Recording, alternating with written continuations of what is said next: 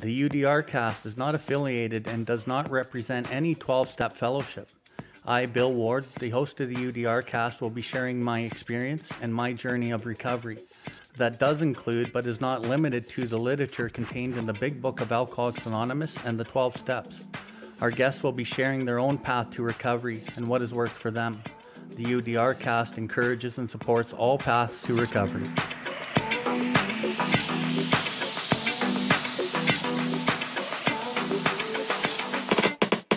Welcome, everybody, to the UDR cast.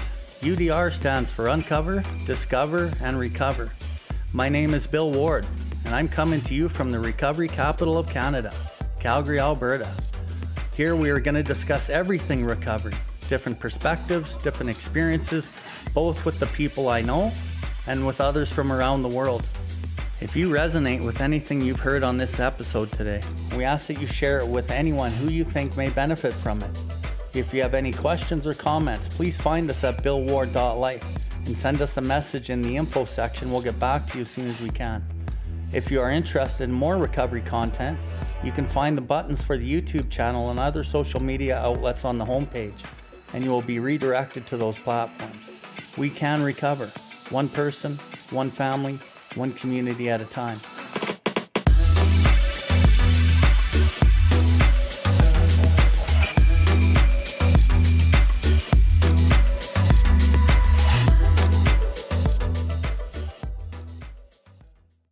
Well, yeah, so like really, and I'm explaining this more for the new people, and I can't really go into detail for you new people because there was so much material covered, but essentially, I live my life based on everything that I learned in this world.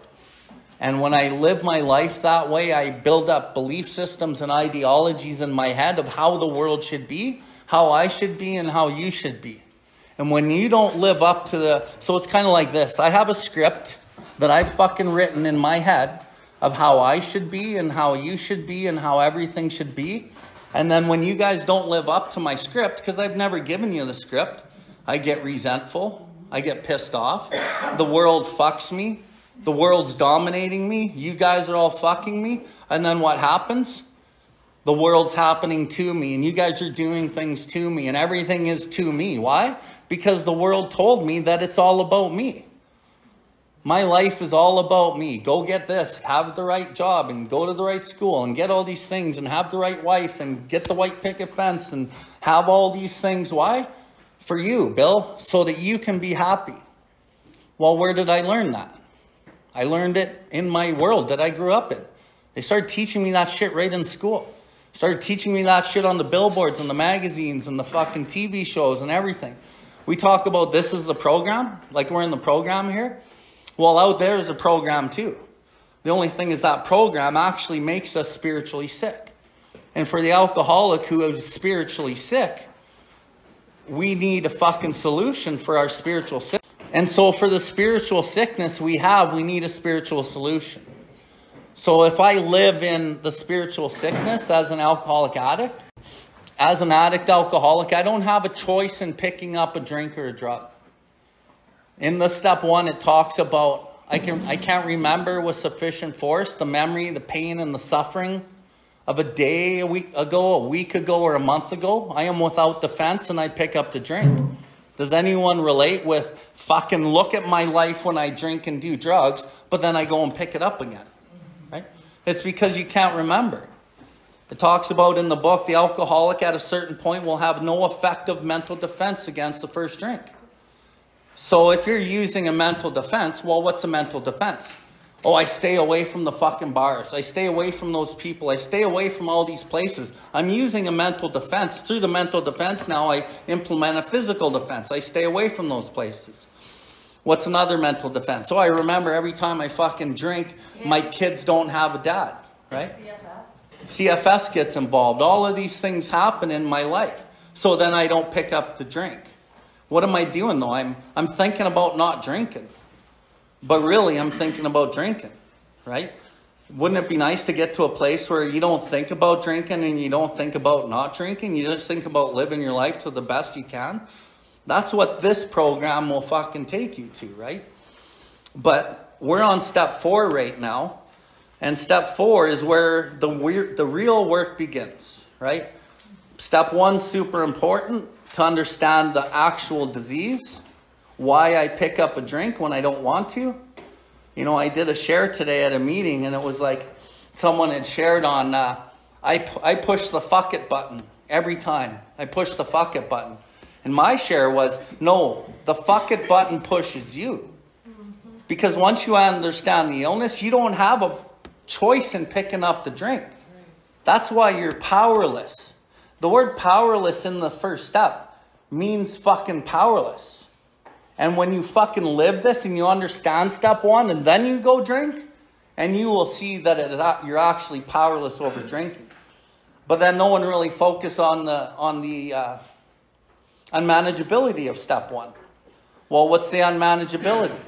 The unmanageability is I can't control my emotional natures. I get angry at people. I fucking cry at the drop of a hat. I'm judging people. I'm fucking in anxiety. I can't control my emotional natures. I'm prey to misery and depression. You know, I can't seem to make a living. I have a feeling of uselessness. But I like the, we're prey to misery and depression. Like a lot of alcoholics get misery and depression, depression, anxiety. Most depression and anxiety for alcoholics is just untreated alcoholism. Mm-hmm. And when you get to the state of depression, you're fucking going down the levels of consciousness. You get to these lower levels of guilt and shame. Then suicidal thoughts come in because you're fucking so low in the levels of consciousness that there's nothing you can do because misery and depression prey on you. And when you look up the word prey, it says an animal that hunts and stalks another to eat and kill. That's what fucking misery and depression and anxiety do to people. It hunts you, it stalks you, and it wants to kill you, but it doesn't kill you. You fucking kill yourself. So understanding that you don't push the fuck it button, the fuck it button pushes you because you're powerless over fucking drugs and alcohol. And what drives the fuck it button pushes you, pushing you, is the spiritual malady. Living in the shit that we're going to talk about tonight. That nobody's really ever lived or seen, right? So, fast forward, we get to the step three prayer. We do the step three prayer. People have done the step three and then go, fuck. i have turned my will and my life over just saying the prayer. I, I've done this, right? And I hear it all the time. Oh, yeah, me and God, we're fucking great. I've been on step three for like eight months. My life and my will is, right? My life and will is turned over. You know, it's such a load of horseshit because you don't understand your fucking will just because you did a prayer. But the ego is so powerful, it doesn't want to be left out, it wants the validation. And part of our disease is the disease of validation. We want to be validated by everybody and everything, right? But it's based in like an emotional security that's kind of within the deeper part of the work that we do. But the step three decision, just because you take it, doesn't really mean that much, other than you've made a commitment to maybe change your life. And really, once you understand that step three prayer, really what it is, is you're getting down on your knees, you're asking God to build with you, do with you as He will relieve you of the bondage of self, take away my difficulties. What are my difficulties? My difficulties are my defects of character. And my defects of character are actually what caused me all my difficulties. My defects of character are what caused the prey to misery and depression.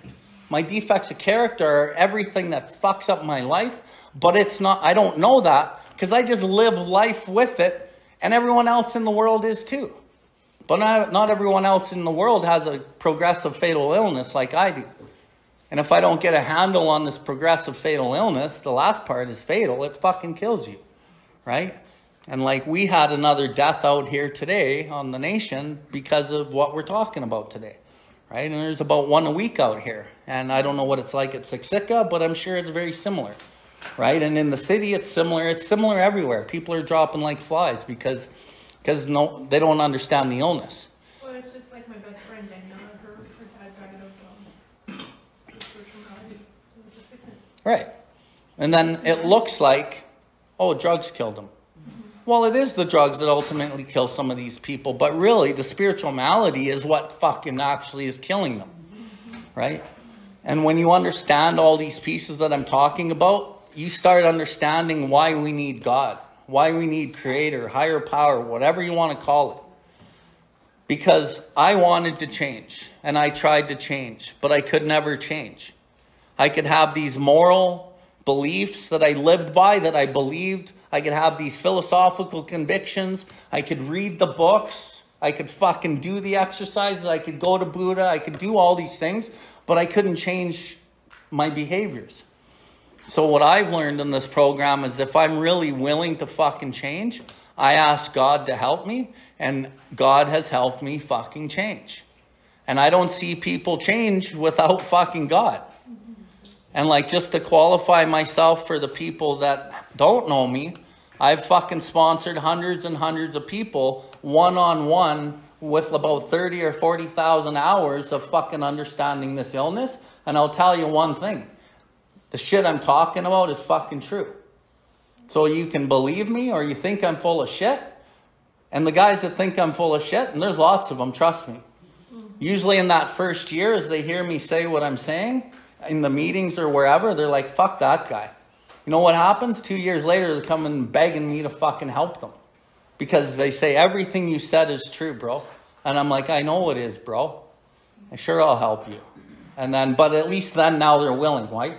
Because they got a fucking understanding of their illness because they understood step one, at least, probably, right? So as we do that step three prayer, build with me, do with me as thou wilt. Everyone wants fucking help. They're desperate and they get on their knees and they're doing anything because they want to stop using. The thing is, is that prayer is so powerful. When you get on your knees and you say the, the step three prayer, now the universe has heard that prayer and it's going to do what you asked it to do. And part of the rebuilding with me, doing with me as thou wilt, is I got to strip down all of the shit that fucking's not serving me anymore. And it doesn't serve you, it doesn't serve the world. And to strip down my anger and my fucking lust and my gambling and my porn and all of the stuff that's under that, trust me, it's fucking painful. Because for you to fucking relinquish a defense mechanism or a behavior that you've used all your life to try to protect yourself and try to let that go, it's fucking not easy. So I always say, do what's e- do what's hard, do this work, do it with the desperation of a drowning man. Don't do it by yourself. Do it with creator, do it with your pillars, and you can fucking do anything and you can be anything in this world. The only thing you can't do is drink and use drugs. But the thing about this program is if you follow the directions, not the idea of what it is or a theory, you follow the directions in the book, you will live a life where you don't want to fucking use drugs. The God drug will be the drug that you fucking want. And then the more God that you have, the more you light up, the more that you shine. And you've all seen those people, right? Those people that just shine and they exude something that you want, right? People don't want ego. People don't want pride. People don't want those lower levels of fear based behaviors. And you can feel those when people act in pride and anger and fucking show off shit. Fucking, it just pushes you away, and it's an energy that pushes you away. But when people are like acting in love and they're fucking exuding love, and you fucking want that, right? And that's what we're trying to do here. If we can all like light up our lives and shine the brightest that we can, we can help somebody else. So I'll just finish that step three prayer. It says, Allow me to do these things, God. Build with me, do with me as I will. Relieve me of the bondage of self. Take away these difficulties for one reason. What's the reason why we do all this work? So that I can give to others those who need Right. help other people. Right. To live to their maximum, what they're put here for. Right. So we are trying to be of maximum service. Yeah. So, all that being said, I'm going to do a quick rundown of what we did last week because there's so many new people here. I'll try not to spend a lot of time on it. I'll do my best. It's okay, it's God's will. It's God's will. I don't mind. Okay, so I'm going to start at the bottom of 63 quickly. I'm going to reread a few things and just touch on a few things for some of the newer people. And maybe some of us, others, could have a refresher. So, bottom of 63, after we read the step three prayer. So, we got down on our knees, we did the step three prayer, and this prayer is now in the universe, and now fucking Creator is like expecting our part to be done. And like the universe is now working for that. But the thing about building with me and doing with me as thou wilt, it does not, doesn't always look like how I want it. Right? It doesn't look like how I want it to look. And it's not always going to be a fucking happy, easy road. Through the challenges in your life is where you learn shit. Right? Like some of the worst things you've ever been through, you're like, whoa, fuck, I'm never doing that again. Right? because it was fucking painful and you learned a lesson. Right? That's kind of how this might go.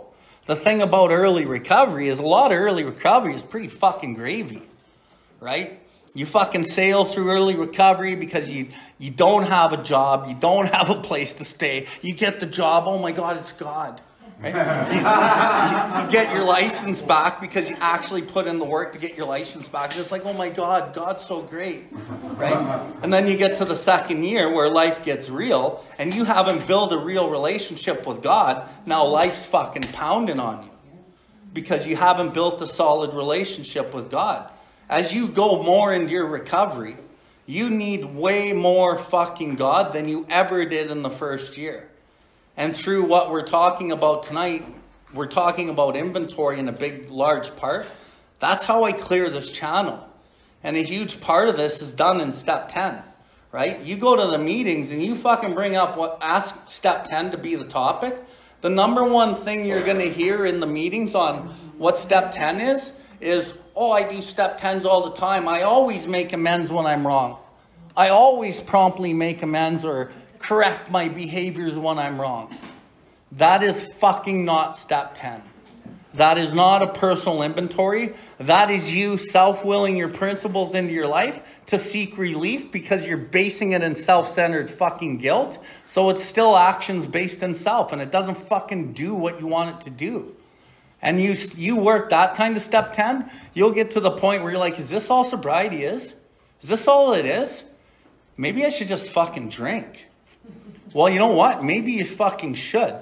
Because you'll get a real fucking condition, uh, ideal of your condition, and maybe God will guide you to somebody who knows what the fuck they're doing. Because most of the rooms do not fucking understand step 10 or step 6. And then nobody is fucking sponsoring, which is the greatest gift in the program. So what the fuck what the fuck are we talking about, right? So as we go through this step four, this is the very first beginning part of the inventory. Okay, let's read. Bottom of 63. Next, we launched on the course of vigorous action. The first step of which is a personal house cleaning, of which many of us had never attempted. Though our decision was a vital and crucial step. So none of us did a house cleaning ever in our life. We've never taken personal inventory on ourselves right? I've taken your fucking inventory, I'll tell you that, most of my life, right? And we all do that. We'll take everyone else's inventory, but we've never taken our own. And where it says, though this decision, what's the decision that he's talking about? Anyone? Step three decision. Though this decision that I took in step three is a vital, which means important, but it also means vitality. It can give you life. It can give you really good life if you understand how to turn it over. So it's vital and it's a crucial step. It could have little permanent effect unless at once followed by a strenuous effort to face and be rid of the things in ourselves that have been blocking us. So I need this step to take permanent effect. For the alcoholic addict who is actually powerless and hopeless, has this the spiritual malady is progressive and fatal, this step is really important to make permanent. That's why most people don't stay sober, is because they don't understand how to make it permanent, because they don't understand step 10. They don't understand even the depth of step 3. And we just go on with living our lives and self willing the principles into our life. But if we just self will the principles into our life, we're self willing it based in fucking self. So we're still fucking running the show. But my ego's so powerful, it can think that God's running the show. But that's not what's actually happening. And a guy like me, I can spot that shit in a conversation with people fucking in a split second, right? So a lot of people are afraid to come and talk to me based on that. But a lot of people really will come and talk to me because they want to know the truth. They might be a little skeptical at first because I'm going to tell you the truth about like based on my experience and knowledge. But I always do it in a kind and loving way, but I might be a little firm, but I I do it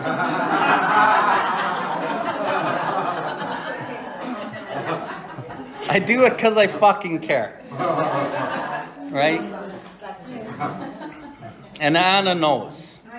For anyone that doesn't know, Anna had one year sober. She was around. She was that person in the room. like, fuck, God's great. Everything's great. I, I got my kids back. Everything's great. And she even made me cry in a meeting because she was so heartfelt. And then she went on with the business of being self satisfied again. And I didn't see her. And I messaged her one day. I'm going back years ago.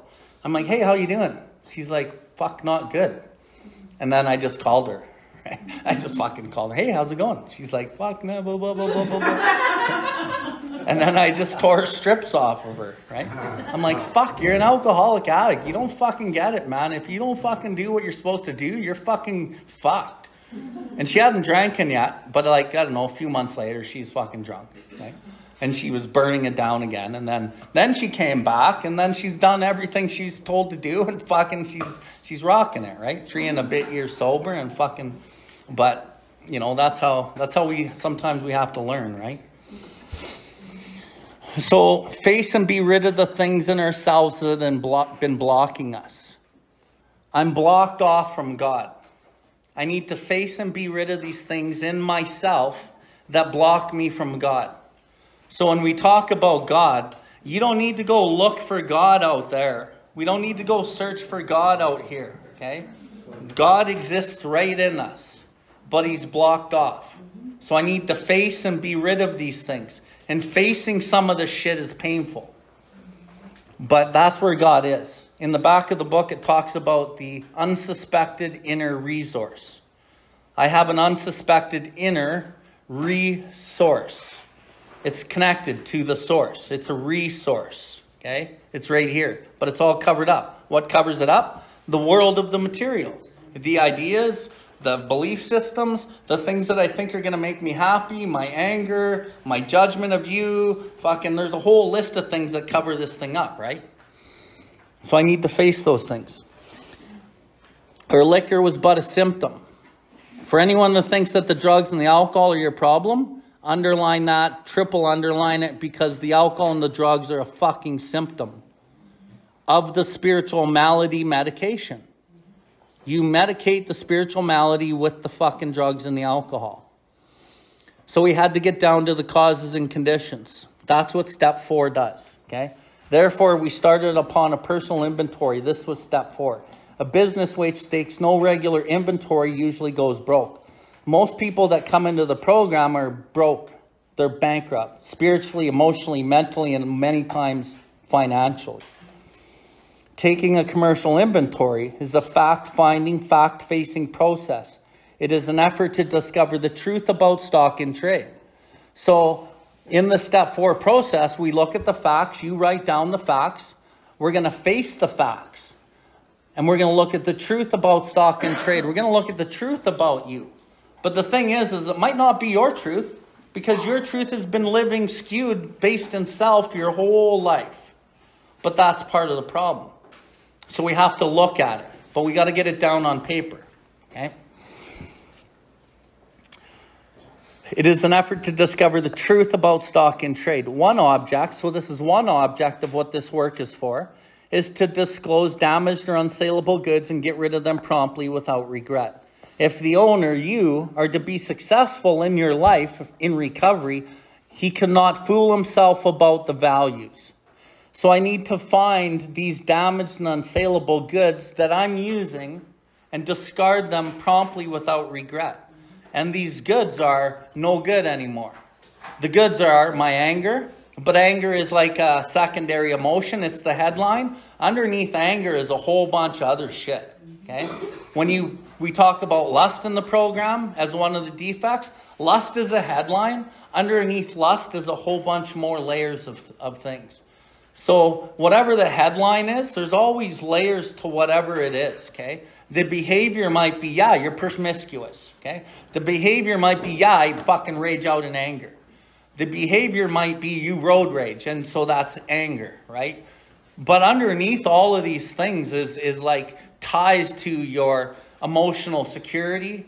Maybe you're fucking road raging because you're running late all the time and you you need to get to work on time, but you're gonna be late, so you're fucking mad at this guy because he's making you late, even though you pressed snooze four fucking times and fucking went and got a coffee at Starbucks and knew the lineup and like these are all the decisions you make in your life that cause this road rage. But the layers of this is where you'll see the real fucking juice, right? So, so we did exactly the same thing with our lives. We took stock honestly. First, we search out the flaws in our makeup which caused our failure. So that's an important line. We search out the flaws in our makeup that cause our failure. Back in step three, there was a line that says, um, Our problems we think arise out of ourselves. And the alcoholic is the most extreme example of self will run riot, although he usually doesn't think so. So, the alcoholic, also in step three, it says he's driven by a hundred forms of fear and self delusion. And, like, for anyone that's like on the fence about this program, I'll just say it like this. If you think that this book is some guy's theory or, or opinion, I fucking feel sorry for you. Because this book is not a guy's theory of opinion. This is fucking, this is the alcoholic and addict in plain English. And this, I have not met one alcoholic and addict that I worked with that was the real deal that this book didn't fucking describe to a T. So these flaws that arise out of myself, they're part of my makeup. They're like right in me. So the problems that arise out of myself, so the problems will be the behaviors, right? So I'm going to use the tree example. So we're going to look at the defects of character through the step four process tonight to some degree. And it's like a tree, okay? The tree has branches. And as you get to the branches, there's my anger, there's my lust, there's my gambling, there's my porn, there's my there's my defects of character, there's my judgment, there's all the things that you can see, right? Whatever it is in you that you can see that you know are your defects, and some of them you'll see when you do the work. So as I start breaking these branches off, it's hard on the tree, so it's hard on me. And as I get further up the branch, the branches get thicker and the branches get harder to break. And sometimes I gotta fucking like wiggle them and spin that fucking branch right off, right? And fucking break these branches. But these are the defects and this is how embedded they are in me. And I get to the trunk of the tree and I start breaking this trunk now. And the trunk's hard to break, right? And then I get to the roots, and now I'm at the root of the problem, where the problems arise out of me or deep down. And when you think of a tree's root system, the roots go fucking everywhere, and they cross over each other, and they're fucking intertwined, and the root system is twice as big as the tree that you see standing. So the problem, I think, arises out of me deep down inside where I can't even see. Maybe it's abandonment, maybe it's self worth. Maybe it's you trying to fit in and, and fucking be good with all the different people in your life. So you people please, you're, you know, a people pleasing disease, or you avoid conflict, or whatever it is, right? There's so many things that this could be, but they all stem from the fucking roots. And then they come and they manifest themselves out in the behaviors of anger and, and judgment and lust and, and whatever else. But we can see the branches once we start doing this work. But over the years, you keep breaking those branches, and your goal is to get down to the fucking trunk. And the trunk or the roots is actually, when we get there, is the third column. And the branches are the fourth column. Okay? So let's go. So, being convinced that self manifests itself in various ways is what had defeated us. Earlier in these chapters, it talked a lot about self. And for the people that have been around the program a while, they understand this way more than anybody knew. But selfish self centeredness is the root of our trouble, it's the main root of the trouble. Okay? And that's what fucks me.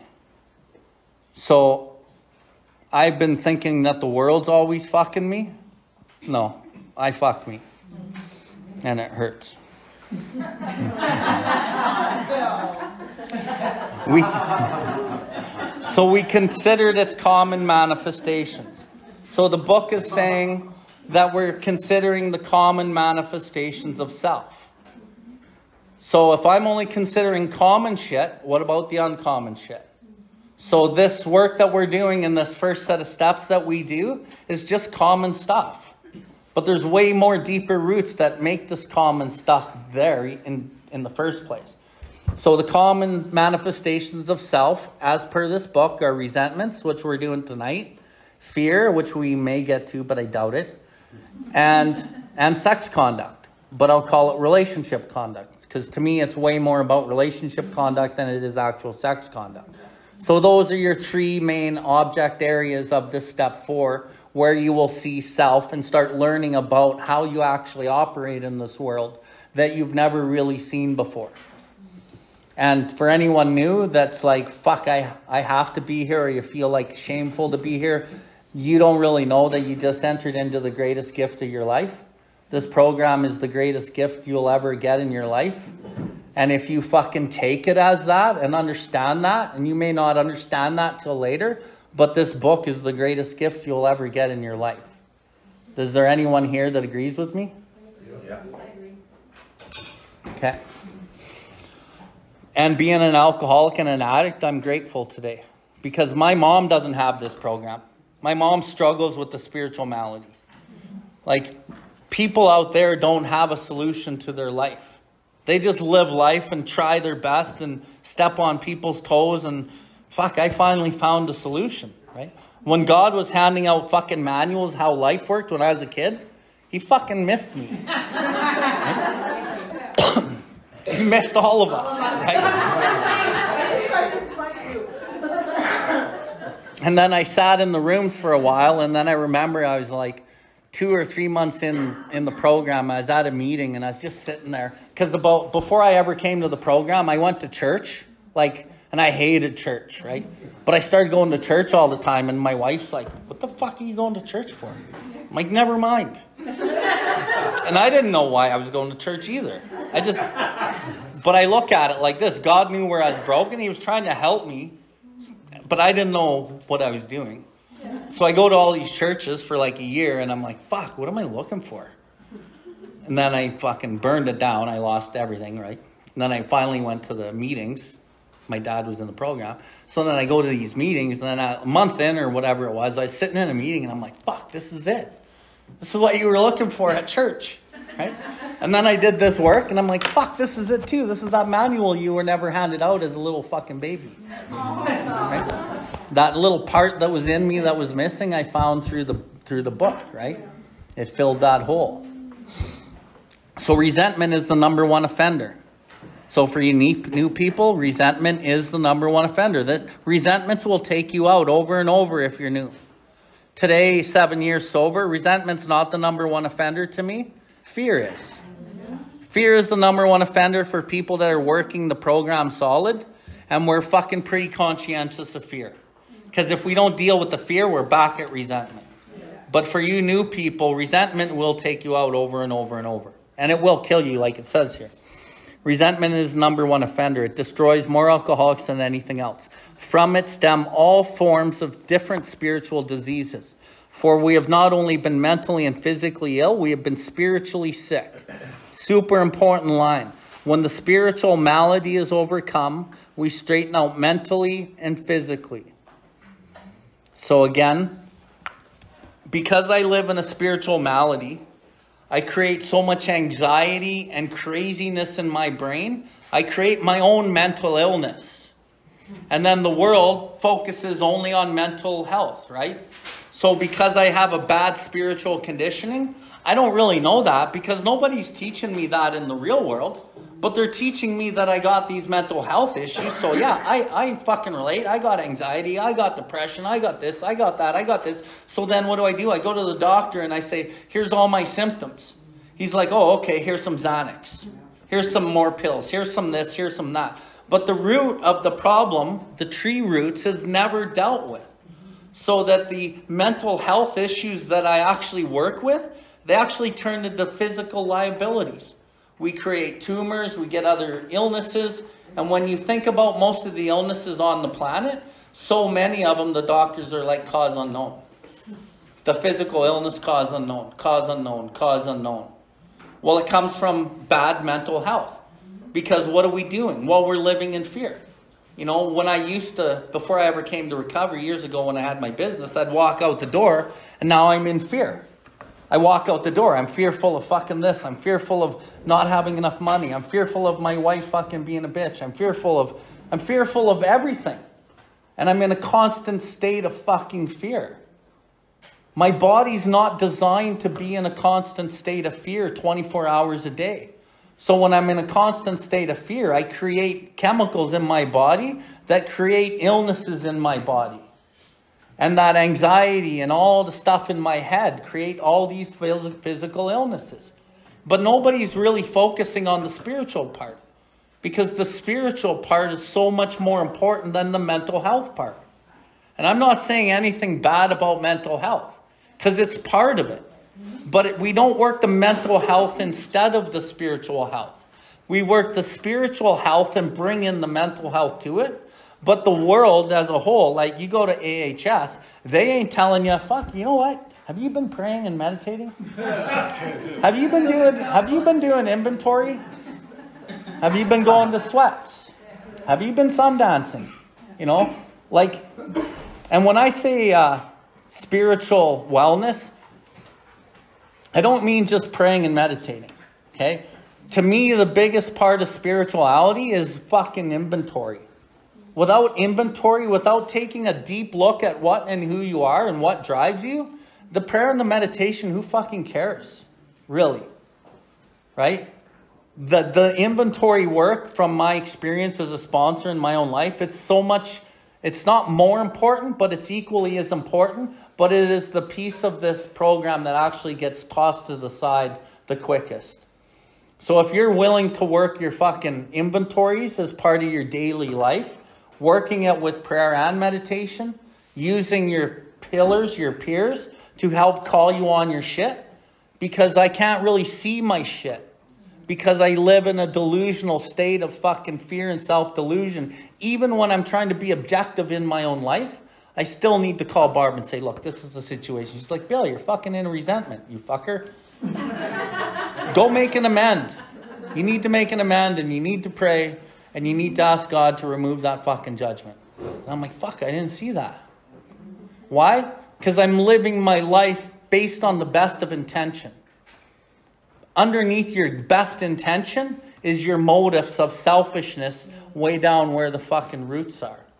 And once you start seeing that shit and you start like working this program like in like, these ways I'm talking about, you're just like, whoa, holy shit. And then you'll catch self trying to fuck your life up and you'll be like, fuck you. You're like, not today, self. Not today, self pity. Satan. So sometimes I give my sponsees, like, I'll say, okay, I'm giving you one minute of self pity a day. That's all you get. Fucking, you can use 10 seconds here, 20 seconds there, 30 seconds here. But once you've used up a minute, that's it. Right?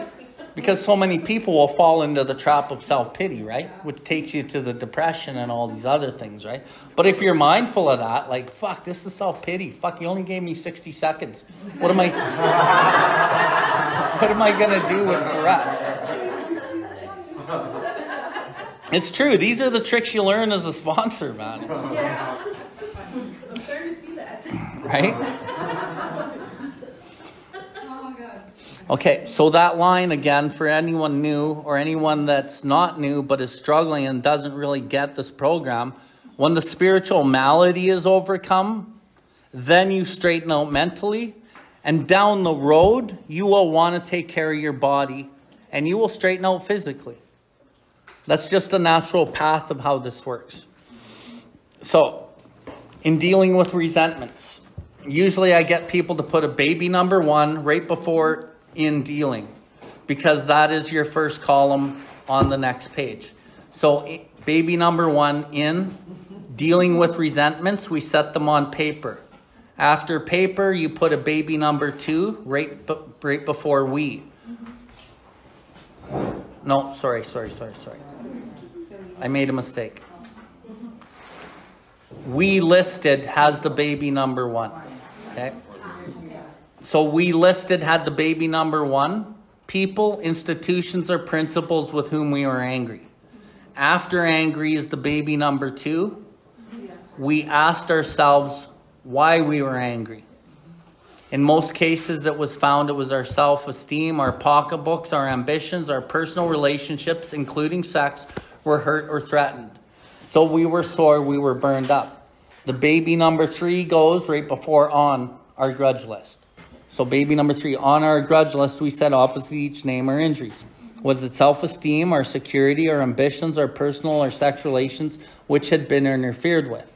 And then, as you have the one, two, and three in the literature, you can put the one, two, and three over the columns in the book because that's essentially what we're doing. So, in the first column, we write who it is. So, Bill W., when he wrote this book, he used these examples. And in the first column, he wrote Mr. Brown. Well, what did Mr. Brown do so Bill was pissed off at him? Well, Mr. Brown, the cause, his attention to my wife. I guess this guy was checking out Lois. and told my wife of my mistress. Okay? And Mr. Brown may get my job at the office. So this guy is like, now he's living in all these fears in his head, right? So he's building all these fears and resentments of things that he thinks is happening. And and maybe parts of them are happening. Like he he did tell his wife about his mistress, but the guy's using a fucking mistress. So of course he's going to be in fear. And what's his fear producing on these other sides? Well, the attention to his wife, and especially if Buddy told him about his mistress, his sex relations is going to be uh, threatened. So he writes sex relation. His self esteem is going to be threatened because he's probably worried about losing his wife, and now his own self worth is at, at stake, right? His sex relations for the next one, self esteem, his security for his job. Brown may get the job at the office. So now it's his financial security and his material security. So that's what it's affecting. So this this first three columns for anyone that's new or not new, this is shit you live your whole life anyway doing. You know who it is. You know that they what they did to you and you know that it hurt you. So for us to do this part of the work is really easy. We just need to write down what happened in our life and who we resentful at. And one good way to really find out who you're resentful at is when it says, you know, why we were angry, you look up the word anger and you look up the word synonyms for anger. Because the synonyms give you different variations of what angry actually means. Because most people, I've found that most people just think angry means like raging and just angry. And the problem with us new alcoholics is we have so much pride that we don't want to admit we're angry. Right? But if you want to fucking grow, you got to look at yourself in a really constructive view, and it's not always going to be pretty. It's kind of like the disease of the, the drink. Until you conceded to your innermost self that you actually had the illness, you couldn't recover, right? Because you were denying it, you were still resisting it. And it's the exact same with lust. If you don't concede to your innermost self that you have fucking sexual relation problems and go, fuck, yeah, I have fucking serious sex relation problems. And admit that. Pride doesn't want to admit that though. But we have to get past that pride and we have to put it on paper. Like, who wants to admit they're fucking angry and rageful? Nobody. Right? We always butter it up to make it softer. But that's part of the lies that we tell ourselves. The biggest problem with the alcoholic addict is they're not capable of honesty on their own.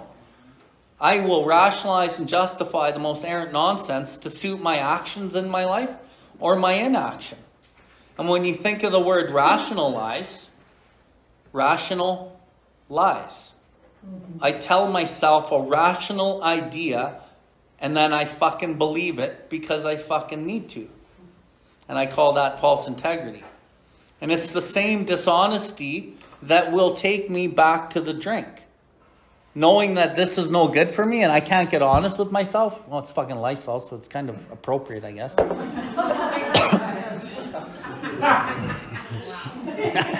Bad joke. But I am Indian, so I can get away with it. I can get away with it. But it's the same dishonesty that manifests itself back to the drink. And when we talk in this program about rigorous honesty, rigorous means accurate. Okay? Getting accurate with what and who you are is really important. And looking at yourself in a way that you've never looked at yourself before is so important. And it's the truth. When we talk about facing the facts, we don't want to face the facts this way sometimes because I built a story in my life of how I actually am. And I need to live up to that story. But then I have to look at the real story. And the real story is fucking, it's pretty painful. It's pretty ugly, right? But in order for you to grow into a good person, to the like the best person you can be, you got to accept some pretty hard truths about yourself. So as we live these first three columns, one, two, three, you live it, just write it down. Very simple. Don't do this work by yourself. Don't go home and say, I'm going to do the steps and now sit there by yourself doing the steps. Because you got an alcoholic mind that looks at things in a selfish way and you will never get the value that you need to get out of this unless you work with somebody else. That's just the fact. Okay, so we went back through the list, or back through our lives. Nothing counted but thoroughness and honesty. When we were finished, we considered it carefully. The first thing apparent was the world and its people were often quite wrong. To conclude that others were wrong as far as most of us ever got. That's as far as us most of us ever get. We're always blaming other people for our problems if the government wouldn't have done this, if the insurance company wouldn't have done that, if my ex wouldn't have done this, if my mom wouldn't have done that. It's pretty plain to see that the world and its people are dominating me. Okay? The usual outcome was that pe- people continued to wrong us and we stayed sore. Sometimes it was remorse, probably meaning self pity. You know, poor me, pour me, pour me another drink. Pour me, pour me, pour me another hoot. And then we were sore at ourselves. And then we guilt and shame ourselves. But the more we fought and used force and used pride and used all these broken parts of us, the more we fought to try to have it our own way, prying and snatching and grabbing and taking out of life to have it our way, like it talked about in step three in the actor, the worse matters got. Because living a life in continual self reliance, and you've crossed the line in your disease, you will just keep burning it down worse and worse and worse. As in war, the victor only seemed to win. Our moments of triumph were short lived. So it is plain that life, in, which includes deep resentment, leads only to futility and unhappiness. So, for anyone new who wants to hold on to resentments, like some people think that, like, and I was taught this, right? Just hold on to the resentment. But I never heard like the word resentment. I would just be like, that fucking asshole. And then my buddy would be like, yeah, he is a fucking asshole. yeah, I'd fucking do that too. I would fucking. I never heard the word forgiveness. Right? The word forgiveness was something people said at church. Right? So it wasn't even like I ever had the option of like letting this shit go. Because it was just the way the world worked. I didn't know you could have an option of fucking forgiving somebody. When I found that out, I was like, can I? How do you do that? And then, which brings me to like letting go. Well, you hear it all the time. Now that we're in recovery, you hear the words all the time. Let it go. Just let it go. You know, fucking a new person who's one month sober, fucking calling their sponsor, sponsor, just like let, let it go. Let it go. Good luck. You can't just let shit go. There's a process of letting shit go. First, you got to look at the truth of things. You got to look at the facts. You got to look at, like most of us will contempt prior to investigation. We're going to judge you before we know the facts about anything about you. Once I learn about you and how you're acting and why you acted that way, then I might be able to go, fuck, I probably would have done the same thing too. Which is why sponsorship becomes so absolutely beautiful and important because every time I sit with somebody, and when I first started sitting with somebody, I was like, fuck, that's me. I do that. And I'm telling him to fucking go work on that. I'm not working on it. Right? So it holds me accountable. And then when I see this guy like pouring out his heart because he can't stop doing something, a behavior where he's hurting his girlfriend or something, I'm like, fuck, I've done that. And I'm like, fuck, and I know how painful that is when you don't want to act like that and you don't want to hurt people, but you keep hurting them and you can't stop. Fuck, I know that pain, bro. And then my heart opens just a little more, right?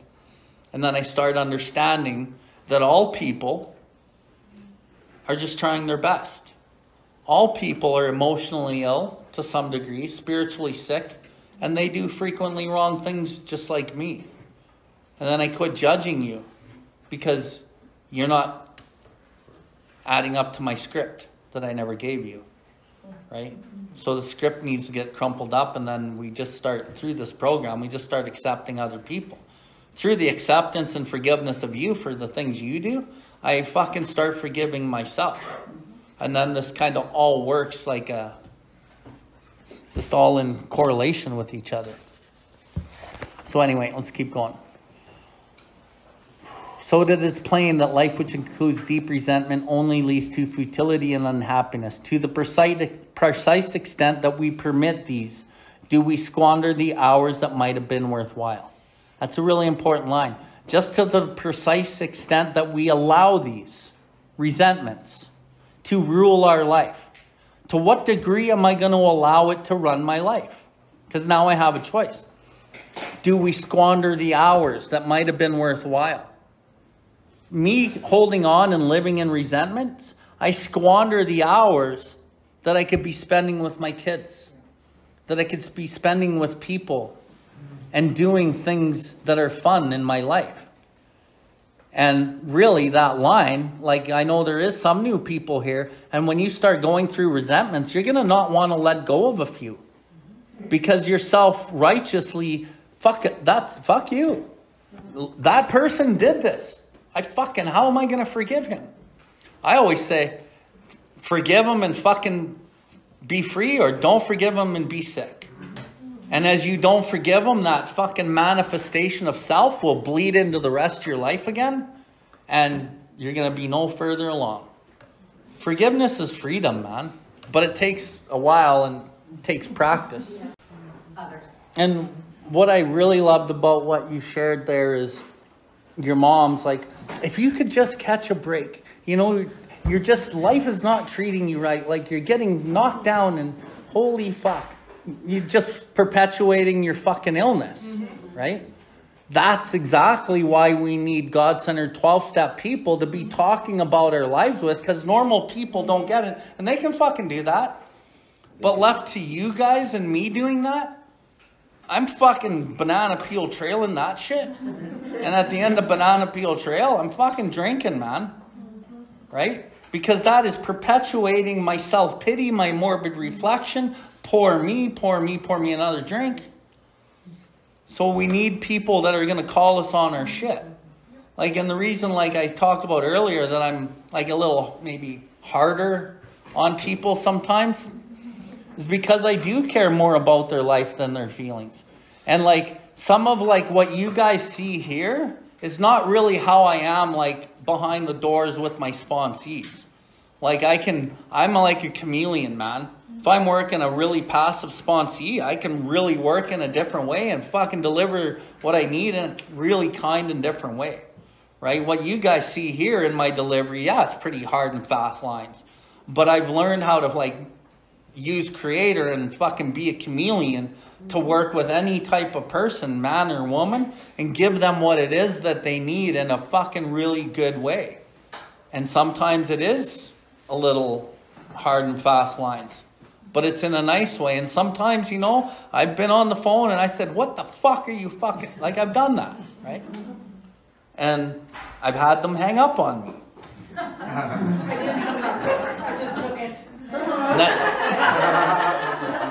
And then, I've had them call me right back and say, "You got fucking? Can you meet me in an hour?" Right?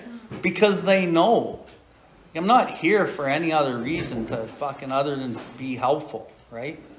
And usually, if I'm not mad at a person, they're doing something fucking terribly stupid. And I need to get through to them because I know them and their skull is about this fucking thick, right? And sometimes, you know, you can't beat them with the Big Book, you gotta beat them with a bat, right? But, you know, like on that note, like the success rate that I have as a sponsor is fucking super high, right? And there's not people running around the fellowship saying what a fucking asshole I am as a sponsor. They say fucking, they fucking love me, right? Because I love my sponsees and I love the people I work with and I love people, man. That's just, and that wasn't me before because I fucking hated people. That's how much this program's changed me that's probably why I love doing this because I can't even believe who I am today, right? My daughters, when I was changing, like three, four years in, they're like, "Who the fuck are you?" they were like mad at me because I was changing.